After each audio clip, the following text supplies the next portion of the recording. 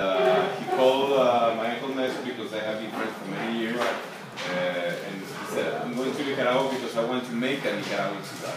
And okay, they gathered one, one uh, and after lunch they started to, to make the plan. And in the, uh, at the end of the afternoon they had Casa Magna.